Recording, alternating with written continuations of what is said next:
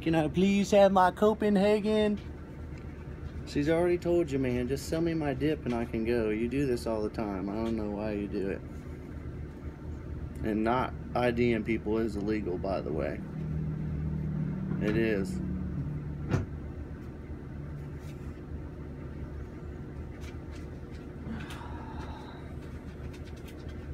And videotaping me without my consent is technically illegal as well. That's called invasion of privacy. Yeah, you get. I could. Ooh, if I was petty, I would do it. Can I just please have my dip, man? Why do we go through this all the time? Show me my dip so I can go. 74, 13, 12. You know, I could be petty, but I'm not. Just sell me my dip.